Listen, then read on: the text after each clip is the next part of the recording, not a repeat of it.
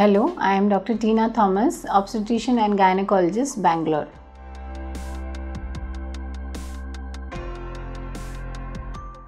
Uh, urine pregnancy test is usually uh, accurate up to the point of 99.5%.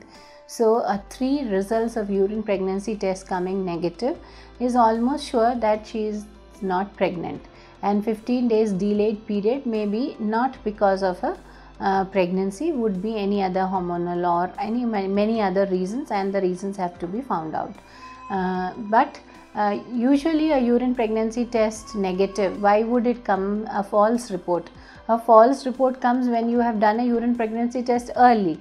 So you have to wait for your missed period to do a urine pregnancy test.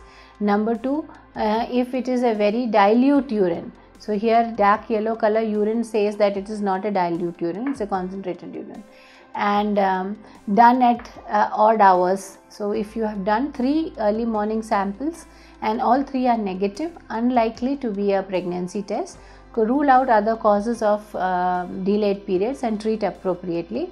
Even then if you have a little doubt, then the best way to diagnose is do a blood test of beta HCG. If that is negative, it is 100% negative.